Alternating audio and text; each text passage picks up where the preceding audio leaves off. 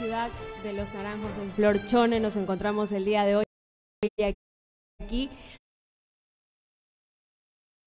para realizar el programa Así se hace Manabí de la Prefectura de Manabí, un programa donde estamos pues muy contentos de estar en esta ciudad para poderles contar todos los acontecimientos que se han venido dando en los últimos días, sobre todo con el tema de las ejecutadas por el plan invernal y la emergencia invernal que se ha suscitado en este cantón. El día de hoy tenemos la presencia de Génesis Lord. Génesis, muy buenos días, gracias por acompañarnos. Muchísimas gracias, estimada Kenis. Asimismo también nos acompaña el director de Fomento Productivo de la Prefectura de Manabí, el licenciado Raúl Andrade Naveda. Muchísimas gracias, licenciado, por supuesto también por abrirnos las puertas de Radio Volante 107.7 FM. Saludamos y agradecemos a las personas que se conectan a través de las redes sociales de la Prefectura de Manabí, por supuesto también a través del Facebook Live de Radio Volante y también en la plataforma YouTube. Agradecemos también por estar siempre pendientes a través de las noticias oficiales que lleva ejecutando esta actual administración provincial. Y como bien lo decía Kenis, el día de hoy eh, vamos a conocer un poco más de primera mano acerca de las acciones que se han ejecutado en este plan invernal. No sin antes, Kenis y estimado Raúl, solidarizarnos con nuestros hermanos del Cantón Chone por las afectaciones debido a estas fuertes lluvias en esta etapa de invierno que ha sido muy duro para el cantón y que sin duda alguna ha traído grandes consecuencias. Nos solidarizamos con las familias que lamentablemente algunas han perdido sus vidas y en otros casos también sus, sus cosas materiales, que sin duda alguna, por más de que sean cosas materiales, igual cuesta cada esfuerzo. Sin más, estimada Kenis, vamos a iniciar con esta ronda de entrevista. Muy buen día. Vamos a informarle a la ciudadanía y es que es importante recordar que la prefectura tiene aplicado su plan invernal desde hace más de un año en acciones de prevención y también en las acciones con las respuestas de emergencia. Como en este caso precisamente vamos a hablar del Cantón Chone, donde la prefectura de Manabí pues ha logrado ejecutar un despliegue de maquinarias importantísimo y que lo vamos a ampliar precisamente con el licenciado Raúl. Licenciado, ¿cuántos frentes de trabajo tiene la prefectura de Manabí acá en Chone y cuáles son estas parroquias que en su mayoría se han visto afectadas y donde contamos con esos frentes de trabajo. Correcto. Eh, gracias, Genis. Gracias, Génesis. De alguna forma, eh, un saludo a todos los radio escuchas y también televidentes de Radio Volante Estéreo de la 107.7 y también a las personas, eh, a los manavitas que nos siguen a través de las plataformas digitales de la prefectura.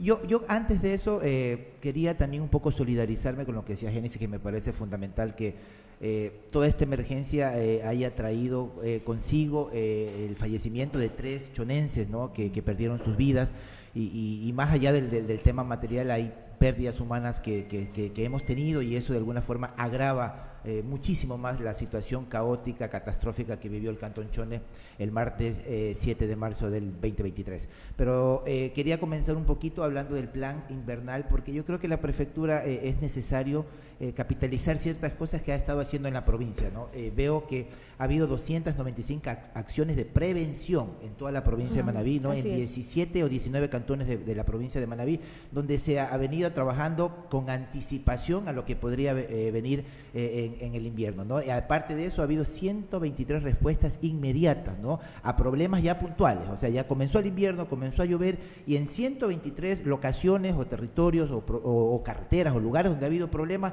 la prefectura de Manabí ha eh, intervenido inmediatamente, ¿no? Con más de, con más, ojo con este dato, ¿no? Más de mil personas que han sido atendidas a través del, de, la Dirección de Desarrollo Social con ayudas técnicas, con medicinas, con raciones alimenticias, ¿no? Solo en, la, solo en el Cantón Chone, para tener un dato específico, ha habido más de 450 acciones, e intervenciones por parte de la Dirección de Desarrollo Social en el Cantón Chone. Mire que eso es bastante, ¿no? Desde el día martes 7 hasta el día de ayer, viernes, más de 450 atenciones médicas que de alguna manera hablan a las claras de que hay un equipo humano comprometido con la provincia y más que todo hoy día con los hermanos del Cantón Chone que están teniendo gravísimos problemas. Ahora vamos, si vamos a profundidad, a hablar un poquito sobre el tema del Cantón Chone, ¿cierto? bueno, en Chone tenemos 23 frentes de trabajo, 23 frentes de trabajo eh, diseminados a lo largo del cantón, ¿no? En varias parroquias estamos, se ha intervenido en la parroquia Santa Rita, que a pesar de ser una parroquia urbana, la prefectura ha venido interviniendo, no en este momento solo de,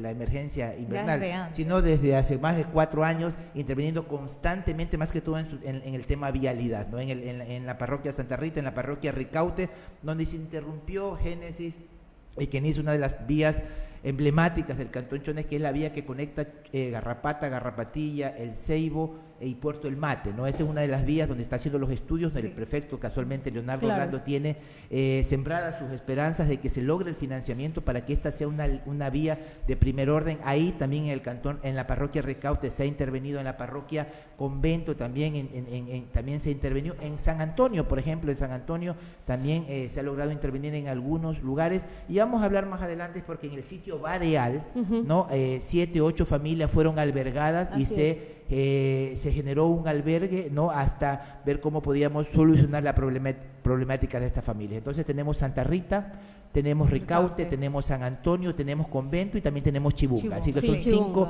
las parroquias de alguna forma que se han intervenido. Estimado licenciado, también es importante mencionar que hasta la fecha eh, la Prefectura de Manaví a través de la Dirección de Desarrollo Social ha brindado su contingente humano y por supuesto también las ayudas humanitarias. Al momento, ¿cuántas ayudas técnicas y por supuesto también con el personal de las brigadas médicas se han ejecutado precisamente aquí en el Cantón Chone? Alrededor de 450, eso es lo que te decía, ¿no? Y, y, lo importante también es recalcar, ¿no? Eh, y yo creo que esto también es necesario decirlo, ¿no? Todo el contingente que ha desplegado la prefectura de, de Manabí en el cantón, eh, porque cuando hay voluntad eh, de servir, cuando hay voluntad de ayudar a los, a los hermanos manavitas, yo creo que el prefecto nunca lo ha dudado. Hoy ya tenemos desplegada, yo creo que más de 100 personas o 100 eh, colaboradores de la prefectura en territorio. Imagínate que tenemos 23 frentes. Ahí tenemos 23 frentes nomás. Eso significa equipo técnico, equipo profesional, eh, maquinistas, operadores, ¿no? Sí, porque hay, más de 22 eh, exactamente, Sí, exactamente. Y aparte de eso, el desarrollo social tiene 25, una brigada de 25 personas, donde hay médicos, donde hay nutricionistas, donde hay odontólogos, optometristas, fisioterapeutas, exactamente. Entonces, hay un contingente de, personal desplegado en el Cantón Chone y donde, como tú decías, 450, eh, más de 450 atenciones pero aquí quiero recalcar otra cosa que me parece fundamental, Génesis y Kenis, es la acción solidaria por parte de las eh, personas del gobierno provincial, de los colaboradores del gobierno provincial, que eh, al no tener nosotros raciones alimenticias, ¿no? Ah, se han activado desde Puerto Viejo, desde Planta Central también, ¿no? Y todas las direcciones han se han eh, complementado y han entregado de parte de su peculio, ¿no? de, sus recursos, más de 300 raciones alimentarias que, alimenticias que son con lo que estamos trabajando hoy día en territorio. Así es, y también importante recalcar, que NIS acerca de esta campaña que se hizo de solidaridad para que las personas se acerquen al establecimiento de la Prefectura de Manaví, precisamente a los bajos de la Dirección de Desarrollo Social, y que por supuesto todavía hasta el momento, durante esta etapa invernal, vamos a seguir eh, recaudando estas, eh, ya sea víveres, vituallas, lo que usted de corazón quiera donar. ¿Va a seguir activo esto? Exacto, va a seguir activo, vamos a seguir, activos este, receptando estas donaciones. Así es, el día de hoy nuestros compañeros ya se encuentran en el centro de acopio porque van a salir a las comunidades a entregar las raciones alimenticias este sábado también acá en Chone. Mire, mire, y es importante recalcar una situación que me parece fundamental a mí, ¿no? Es la articulación que se ha venido dando con eh, el COE cantonal. Eh, es necesario que las instituciones o las que personas que o las instituciones públicas que, quieran o que han, que han colaborado con, el COE cantonal entiendan que hay una eh, organización de alguna forma que, que, hay que seguir, que hay que ser orgánicos en este tema. Y la prefectura desde el primer momento, desde el día martes 7, a través del prefecto, dijo, hay que coordinar acciones, todas, las acciones con el COE cantonal. Y eso es lo que se ha venido haciendo. Y precisamente voy a hacer ahí este hincapié. Esa noche el prefecto, después de su larga jornada de actividades que tuvo en, la ciudad de Guayaquil. él llegó por altas horas de la noche. Kenis estuvo un equipo desplegado en el que también contaba varios directores como el licenciado Raúl Andrade. Y bueno, esas altas horas de la noche el prefecto hizo un breve recorrido, recorrido por Bejuco, por este por la vía Chone Puerto Viejo. Por, Narciso también estuvimos en el canal de un. Ver las afectaciones. Y precisamente eso queríamos tocar el tema que Nis, eh, tú ya le decías antes de iniciar esta entrevista en vivo, acerca de los temas que se tocaron en, la reunión con el COE cantonal, que precisamente la presidió también el alcalde del cantón Chone. Sí, mira, importante es recalcar que inmediatamente, ¿no? El, el, señor prefecto tenía el día martes 7, tiene una agenda en Guayaquil con medios de comunicación. Yo salgo a las cinco y media de la mañana todos los días de Chona a Puerto Viejo y cuando yo salgo las calles comenzaron a inundarse, pero yo pensaba que era afectación por parte de las lluvias. Nosotros tenemos un problema de alcantarillado pluvial aquí, entonces yo salía a, a, Puerto Viejo a las 5 y media de la mañana pensando que era un tema de las lluvias acaecidas en la noche anterior. 10, 11 de la mañana ya los ríos comenzaron a desbordar, el río comenzó a, irrumpir eh, fuertemente en el cantón Chone y el prefecto me llama inmediatamente, me dice Raúl, hay que activar todo el equipo, de hecho se comenzó a activar eh, todo el equipo de la prefectura, ¿no? El, director de Obras Públicas, el ingeniero Arauz, estuvo presente, don Carlos Villacreces estuvo presente, eh, Diego Rivera, director de Riego, también estuvo presente, Silvio Larrea, Desarrollo Social, estuvo presente, Riesgo, Analía Rivadeneira, también presente en territorio, inmediatamente todos los directores nos desplazamos a Chonen, ¿no? Entonces, el prefecto en Guayaquil, nos vinimos acá, hicimos los acercamientos, hablamos con el alcalde, le, pusimos a las órdenes todo el contingente de la prefectura de, de, Manabí y comenzamos a trabajar articuladamente hasta la tarde, que ya se activó el COE, pudimos, eh, hicimos puente para que el alcalde pueda conversar con el señor prefecto, donde el prefecto le ratificó el apoyo irrestricto a todas las acciones emergentes que se necesitaban y inmediatamente, parece mentira, pero parece poca cosa, casi el 90% de la maquinaria que tiene el gobierno provincial hoy día está en Chone. Y no es, y no es, cosa pequeña. ¿ah? Estamos hablando de, de, 23 frentes de 18 máquinas. ¿no? Entonces, todo eso eh, hizo posible que el día martes, en la tarde, ya se activara el COE y de, y de la como, como te decía anteriormente, de una forma orgánica, respetuosa con este organismo y con el alcalde, con los ciudadanos del Cantón Chone, más que todos nosotros y nuestro contingente, en el bienestar nos pusimos a disposición del COE cantonal y de las acciones que había que cumplir. Claro, y es importante eh, mencionar eso porque es eh, pensando siempre en el bienestar de los ciudadanos, en este caso en todos los ciudadanos del Cantón Chone. Y, bueno, luego de, esa, de esas importantes reuniones del COE cantonal, el prefecto también hizo el llamado a la reunión del COE provincial, exactamente. Que, el cual estuvo también eh, él ahí presente. Y luego pues se logró tener una reunión con el gobierno central, específicamente con el presidente de la República, donde se ha hecho pues, se ha logrado que en este caso se vayan a transferir recursos. Contémosle un poco a la ciudadanía que tal vez no conoce bien el tema, explicarle de qué se trata esto y, para qué servirán estos recursos acá en Chone. inmediatamente que se eh, activa el COE cantonal, ¿no? En la noche, como decía Génesis, el, prefecto llegó creo que 7, 8 de la noche acá y inmediatamente nos fuimos a hacer un recorrido, ¿no? Que, creo que, dura, que, que hicimos hasta las 12 de la noche estuvimos prácticamente, estuvimos aquí en el Bejuco donde converge eh, el río Grande, donde, donde llega también el río Mosquito, estuvimos en eh, Narciso, donde lastimosamente en ese sector también se perdió otra vida, ¿no? Otro ciudadano chonense muy conocido en la ciudad, eh, aquí en la ciudad también perdió la vida ¿no? Y después tuvimos en Cativo, en, el, paso lateral, donde también termina el canal de encaucamiento y se une con el río Chone. Y finalmente fue en la carretera, en la principal, en la carretera estatal, no en la red estatal, donde, donde ya eh, vimos que había que articular y ya, se, ya estaba llegando una máquina, ¿te acuerdas? Una, una retrocavadora a brazo largo para retirar la eh, palizada que se generaba ahí y que imposibilitaba en esos momentos que el agua fluya normalmente desde el canal de encuazamiento del río Chone hacia el humedal de la Cegua. Pero bueno, pero en tal caso lo importante es que a partir de eso comenzamos a articular con el, con el, con el COE cantonal eh, se exhortó de alguna manera al gobernador de la provincia de Manabí para que al siguiente día llame a un COE provincial donde ya estuvo presente el señor prefecto, donde ya estuvo todas las autoridades nacionales y eso motivó de alguna forma ante la emergencia, ante la problemática que tenía el Cantón Chone, motivó a que el presidente de la República inmediatamente haya decidido que el día jueves estaría en el Cantón Chone, asumiendo él, de él, principalmente con las principales eh, carteras del Estado, viendo cuáles serían las soluciones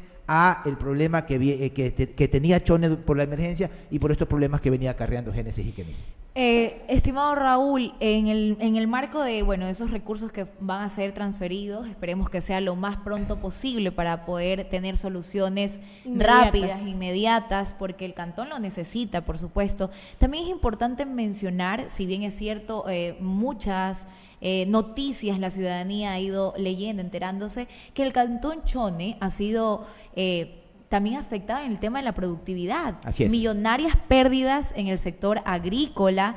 Eh, y precisamente eso quiero consultarle, Raúl.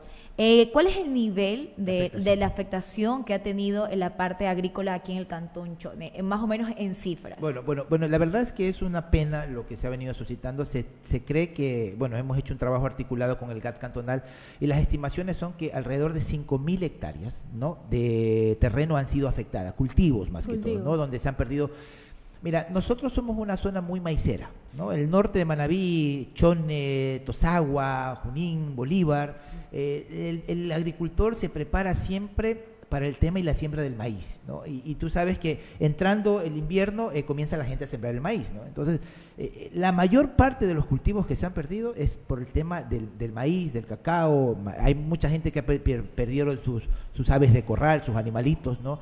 Y las afectaciones, 5.000 hectáreas, es, tremendo, el, el, el impacto que va a tener eh, la pérdida de esos cultivos en la economía del Cantón Chone, por eso es que hay que generar algún tipo de proyecto emergente donde intervengan los diferentes niveles de gobierno, gobierno central, gobierno provincial y gobierno cantonal para tratar de reactivar el sector productivo, más que todo esta zona que ha sido golpeado fuertemente. ¿no? Se estima que son más de 5 millones de dólares en pérdidas, esta es una estimación por parte del, GAT cantonal, conjuntamente con nosotros, con el gobierno provincial, de las pérdidas que, que, van a haber a nivel económico, ¿no? el, el golpe que van a tener en nuestra economía eh, por, por, por, este, por, esta, por este problema invernal. Y eh, 5.000 hectáreas, Génesis, que es, mucho, es, bastante, es, bastante, Sobre todo para una tierra muy productiva como lo es Chone. Claro, y más que todo, como te digo, eh, bueno, ustedes que conocen la realidad de, de, la provincia de Manabí, que la han visitado, que, que, que, caminan todos los días, saben que nuestros agricultores, eh, pequeños agricultores, eh, generalmente todas sus esperanzas, sus recursos, su proyección económica la formulan o, la, o, la, o, está eh, encaminada en los temas de la siembra de maíz, más que todos ellos se preparan los meses de enero, febrero, marzo, abril, mayo, junio, cuando ya cosecha, y es con esos recursos que logran subsistir a lo largo, de todo el año. Entonces, de verdad que es un tema penoso. Ojalá que van a Ecuador, que los organismos estatales eh, puedan ser sensibles ante, esta situación y se generen líneas de crédito para también eh, tratar de fortalecer y ayudar a esta gente. Claro que sí, y eso es lo importante. Precisamente entre eh, las acciones o las actividades que se van a desarrollar están los desasolves con el dinero que va a transferir el gobierno central, están los desasolves de tres ríos. Y es importante indicar que la gente tal vez no conoce mucho este tema y es que acá en Puerto Viejo, pues, eh, perdón, acá en Chone hay el tema de los tres ríos que pasan y que pues tal vez la, ciudadanía desconoce un poco cuáles son estos, contémosles un poco pues cuáles van a ser esos trabajos que se van a realizar en estos ríos y cuáles son. Yo creo que es importante que la ciudadanía de Manabí ¿no? y del país, porque no entienda que aquí hace varios años atrás se construyó la represa, no la, el multipropósito Chone, ¿cierto? Entonces, el multipropósito Chone tenía como finalidad eh, eh, impedir de alguna forma que el río Grande, que es el río, el, el, río más caudaloso que tiene el, el cantón Chone, eh, llegue y arremeta con fuerza como lo hacía siempre en, la ciudad. Nosotros teníamos aquí 20 o 30 inundaciones por año, ¿no? Por cuando, cuando, cuando el invierno era bastante fuerte, ¿no? Y severo. Entonces, lo que se hizo con el multipropósito es canalizar esas aguas del Río Grande, se hizo el embalse, ¿no? El embalse, y eso eh, nos ha ayudado considerablemente, pero, ¿no? Eh, con el transcurrir de los años hay un, dos ríos más, ¿no? Que es el río Garrapata, ¿no? Y el río Mosquito, que son los que crecen constantemente y son los que han eh, ocasionado que en los últimos años Chone se sigue inundando, ¿no?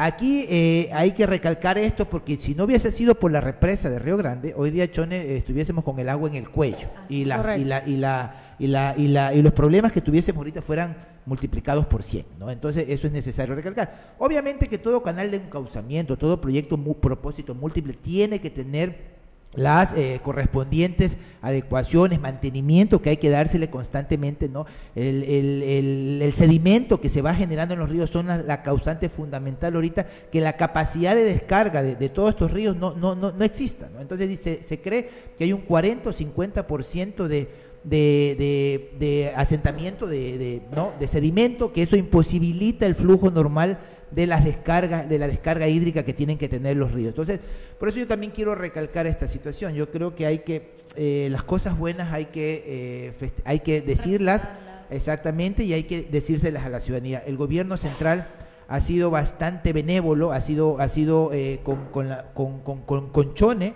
porque ha ofrecido muchos recursos pero aparte ha sido generoso también con el señor prefecto, con la prefectura de Manabí, y decirle que en función yo creo que de las capacidades que tiene la prefectura, del equipo humano, ¿no? del liderazgo que tiene el señor prefecto, le ha dicho, prefectura de Manabí, encárguese del desasolve de estos tres principales ríos. ¿no? Entonces, el compromiso del señor eh, presidente de la República el día jueves en el Cantón Chone fue de entregar 11,3 millones de dólares para el desasolve del canal del, encauzamiento del río Chone, del río Garrapata ¿no? y del río Chone que, eh, que, pasa por toda la ciudad.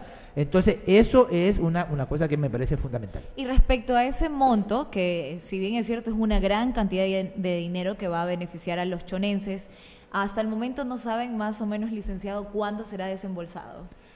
Mira, el, el día lunes sé que el señor prefecto entregará un plan con soluciones emergentes y definitivas para el tema de eh, las inundaciones en el Cantón Chone. El presidente de la República sé que lo va a esperar con sus ministros correspondientes y el señor prefecto entregará ¿no? ese plan que eh, permita de alguna manera ya entregar una solución eh, inmediata y a largo y a mediano y largo plazo. ¿no?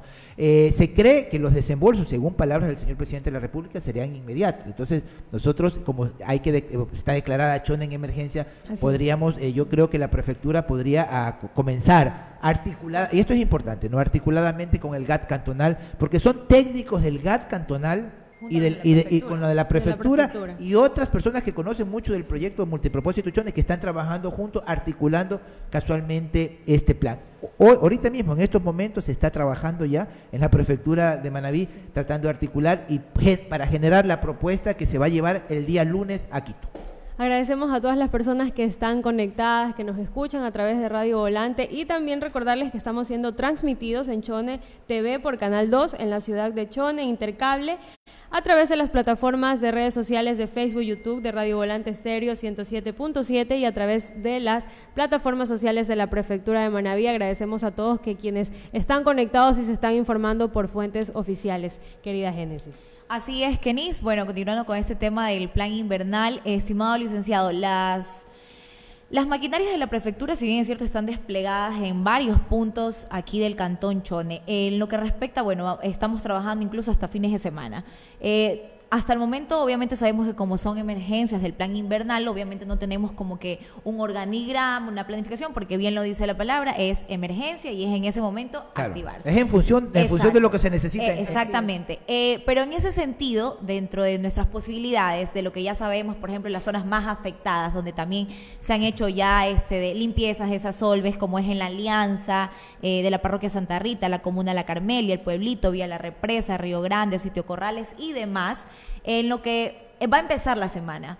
Eh, ¿Dónde más vamos a estar desplegados o vamos a seguir en estos mismos bueno, puntos? El compromiso del prefecto es que la maquinaria no se mueva mientras haya una situación de emergencia, mientras se necesite remover escombros, mientras se necesite habilitar una vía.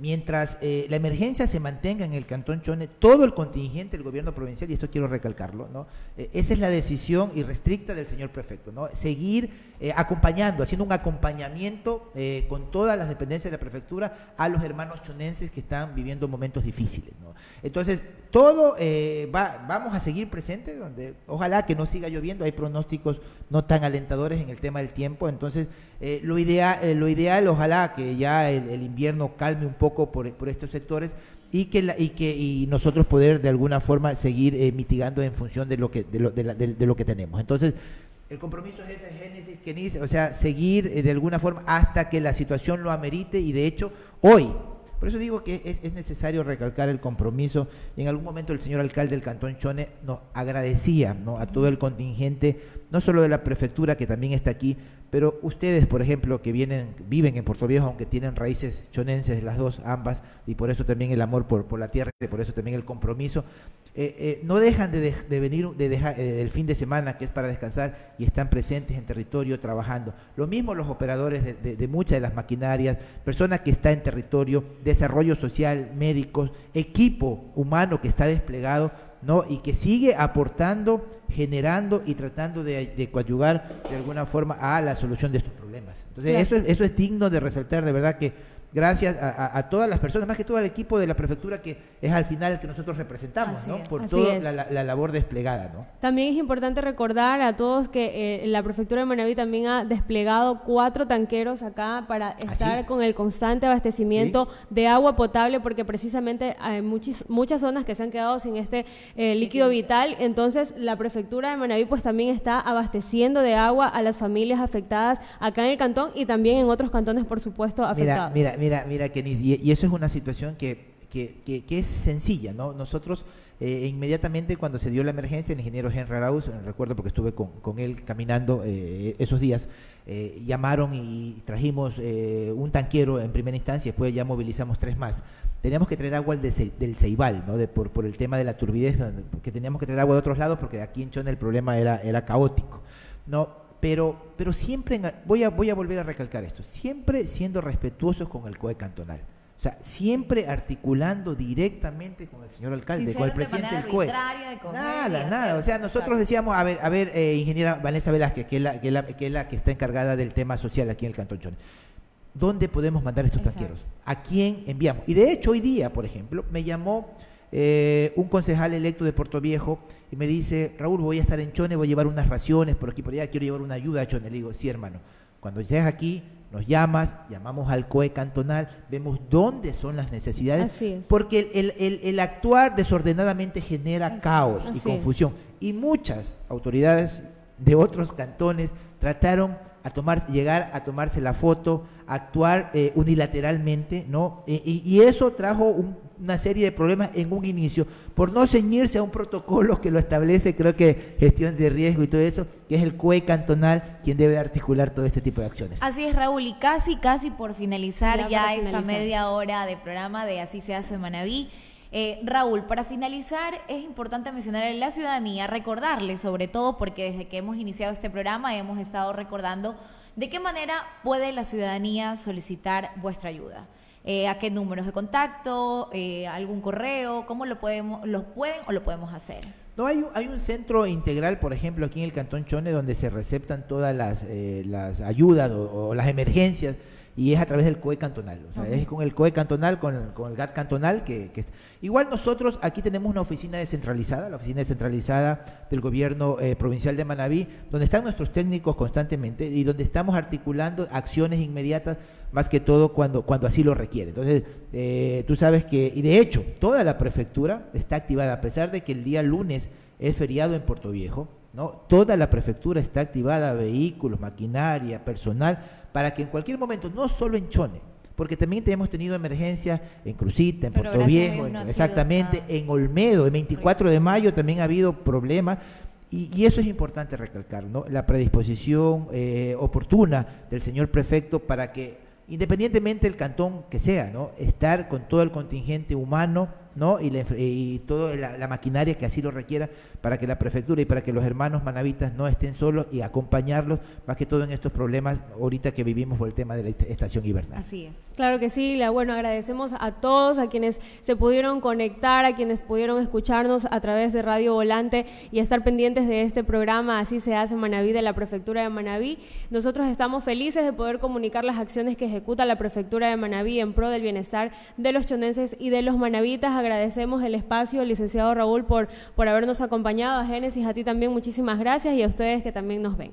Así es, Kenny, finalmente agradeciéndoles nuevamente, gracias por conectarse y recuerden sintonizar Volante Estéreo 107.7 FM y por supuesto también estar pendientes por canales oficiales. Infórmense por canales oficiales como de la Prefectura de Manaví. Sin más, agradecemos a todos ustedes quienes se conectaron y se enteraron de buenas noticias que lleva adelante la actual administración provincial. Que tengan un bendecido y lindo sábado y será hasta el próximo sábado que nos conectamos de nuevo con Así se hace Manaví. Perfecto, muchísimas gracias.